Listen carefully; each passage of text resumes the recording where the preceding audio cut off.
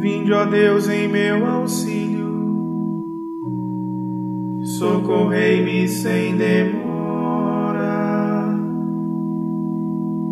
Glória ao Pai, ao Filho e ao Espírito Santo, como era no princípio, agora e sempre.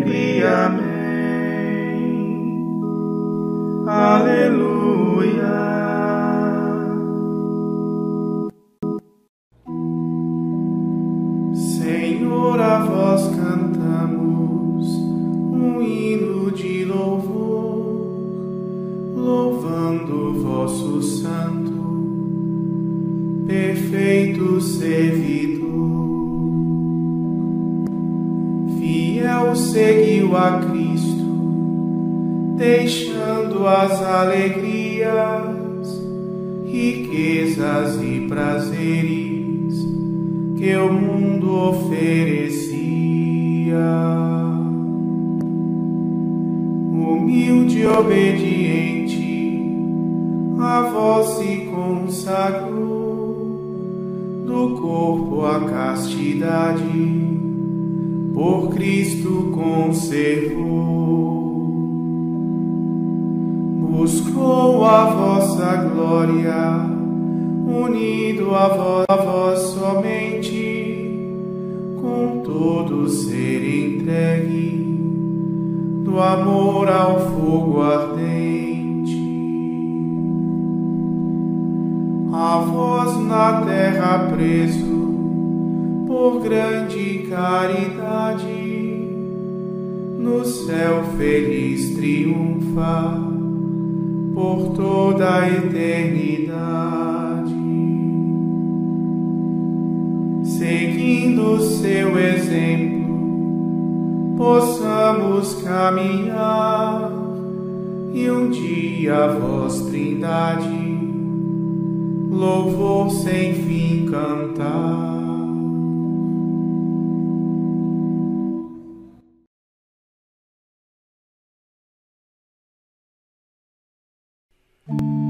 Não podeis servir a Deus e ao dinheiro.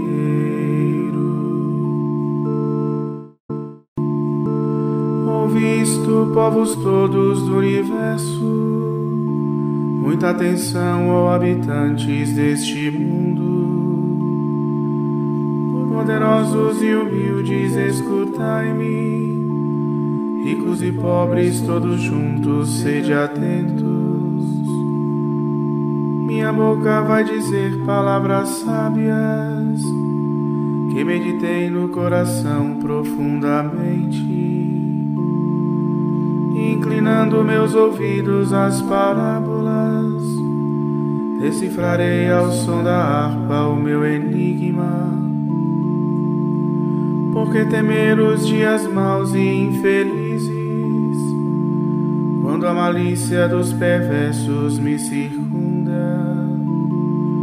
Porque temer os que confiam nas riquezas e se gloriam, gloriam na abundância de seus bens.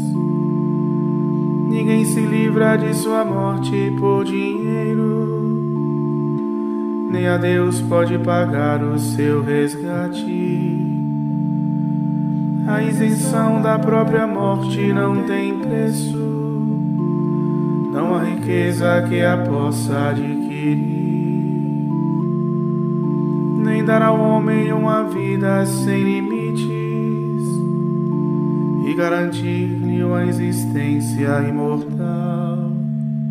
Morrem os sábios e os ricos igualmente, morrem os loucos e também os insensatos e deixam tudo o que possuem aos estranhos.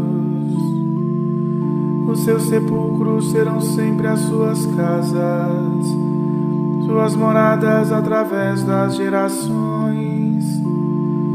Nem se deram o seu nome a muitas terras. Não dura muito o homem rico e poderoso é semelhante ao gado gordo que se abate. Glória ao Pai, ao Filho ao Espírito Santo, como era no princípio, agora e sempre. Amém.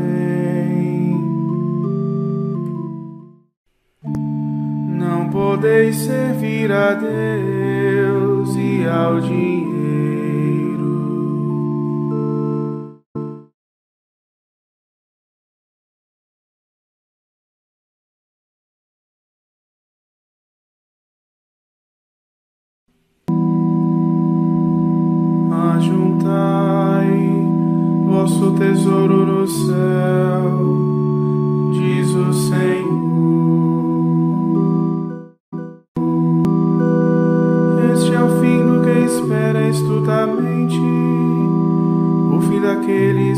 Alegram com sua sorte.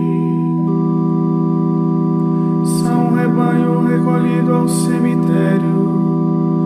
E a própria morte é o pastor que os apacenta são empurrados e deslizam para o abismo.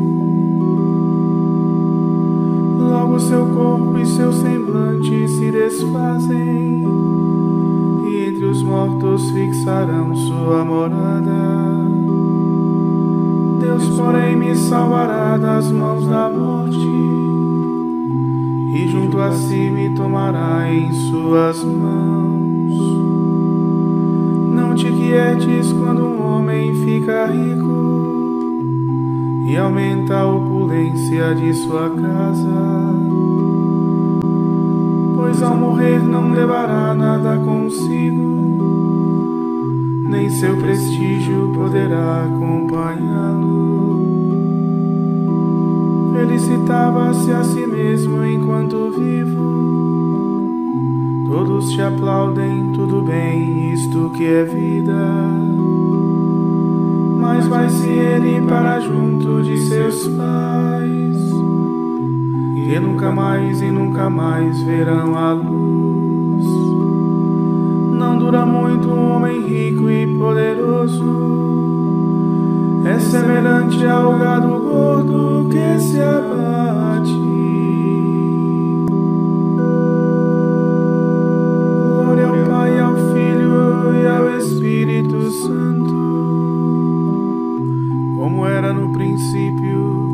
Agora e sempre. Amém.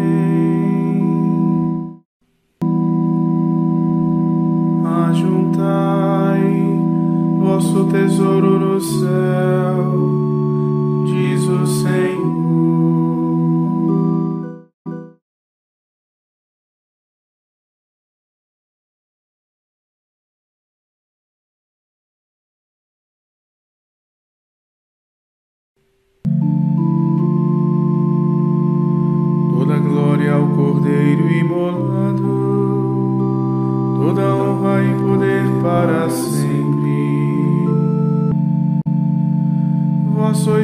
digno, Senhor nosso Deus, de receber honra, glória e poder. Porque todas as coisas criastes, é por vossa vontade que existem e subsistem porque vós mandais. Vós sois digno, Senhor nosso Deus, de o um livro nas mãos receber e de abrir suas folhas lacradas. Porque fostes por nós imolado, para Deus nos remiu vosso sangue dentre todas as tribos e línguas, dentre os povos da terra e nações. Fizestes de nós para Deus, sacerdotes e povo de reis, e iremos reinar sobre a terra. O cordeiro imolado é digno de receber honra, glória e poder, sabedoria, louvor, divindade. Glória ao Pai, ao Filho e ao Espírito Santo, como era no princípio, agora e sempre. Amém.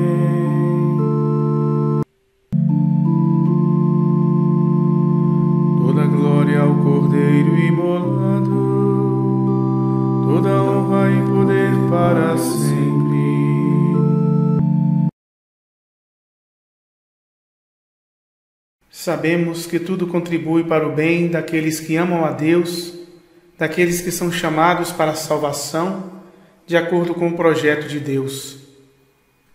Pois aqueles que Deus contemplou com seu amor desde sempre, a esses ele predestinou a serem conformes à imagem de seu Filho, para que este seja o primogênito numa multidão de irmãos. E aqueles que Deus predestinou, também os chamou e aos que chamou, também os tornou justos. E aos que tornou justos, também os glorificou.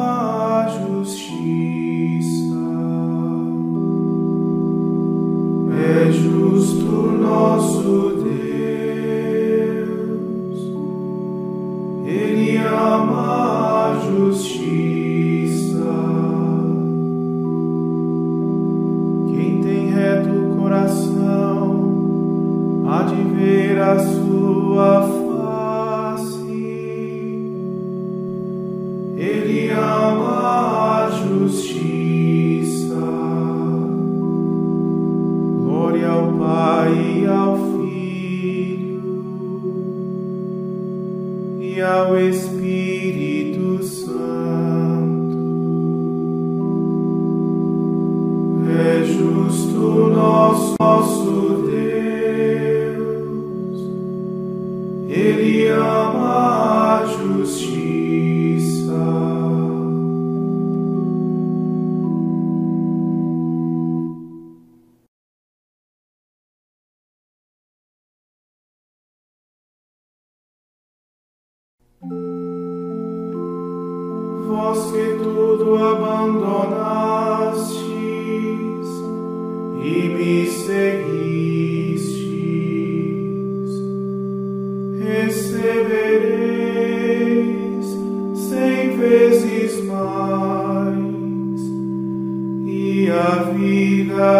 eterna.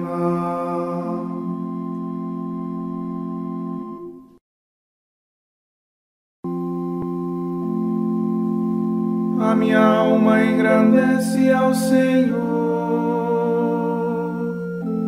e se alegrou o meu espírito em Deus, meu Salvador,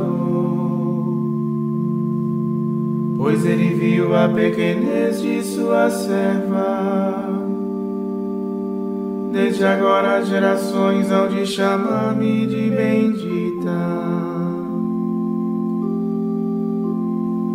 O poderoso fez por mim maravilhas, e santo é o seu nome. Seu amor de geração em geração chega a todos que o respeitam.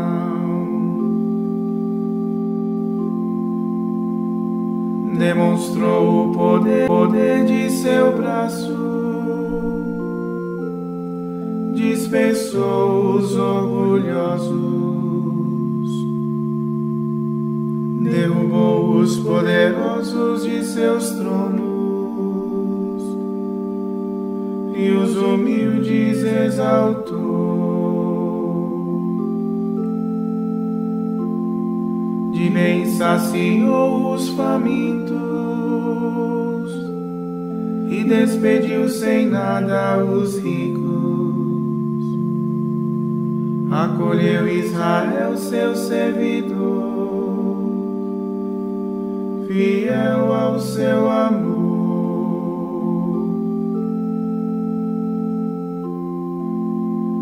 Havia prometido aos nossos pais, em favor de Abraão e de seus filhos para sempre.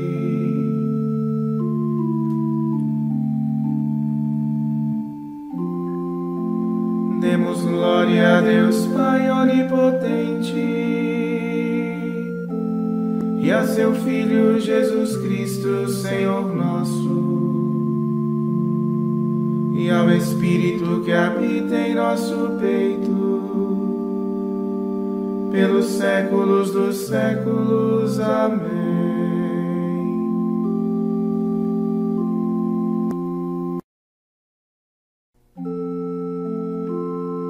Vós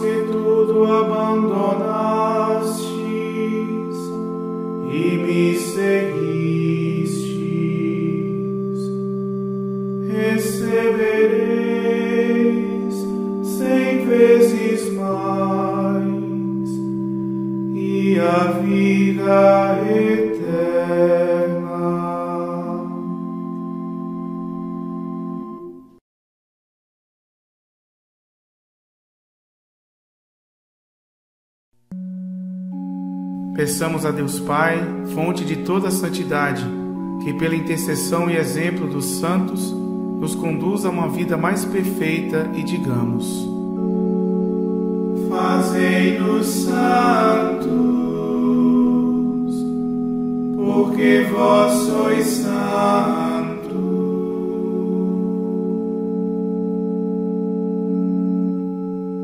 Pai Santo, que nos destes a graça de nos chamarmos e sermos realmente vossos filhos. Fazei que a Santa Igreja proclame as vossas maravilhas por toda a terra. Fazei-nos santos, porque vós sois santos.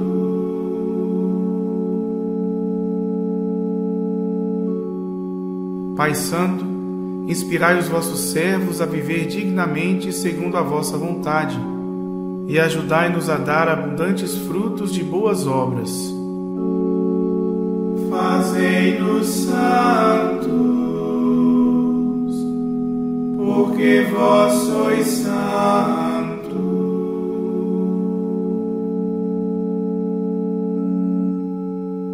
Pai Santo, que nos reconciliastes convosco por meio de Cristo, conservai-nos na unidade por amor de vosso nome. Fazei-nos santos, porque vós sois santos.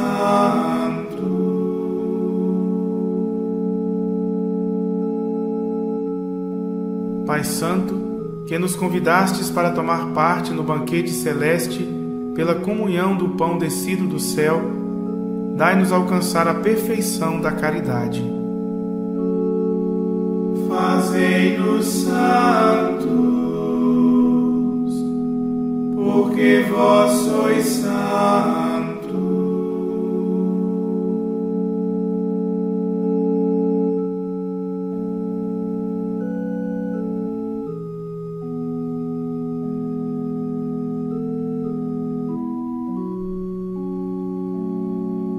Pai Santo, perdoai as faltas de todos os pecadores e acolhei na luz da vossa face todos os que morreram.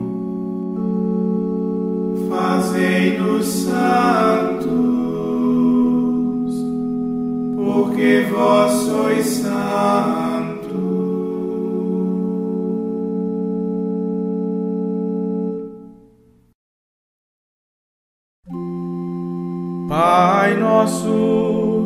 estais nos céus, santificado seja o vosso nome. Venha a nós o vosso reino, seja feita a vossa vontade, assim na terra como no céu. O pão nosso de cada dia nos dai hoje. Perdoai-nos as nossas ofensas, assim como nós perdoamos a quem nos tem ofendido, e não nos deixeis cair em tentação, mas livrai-nos do mal.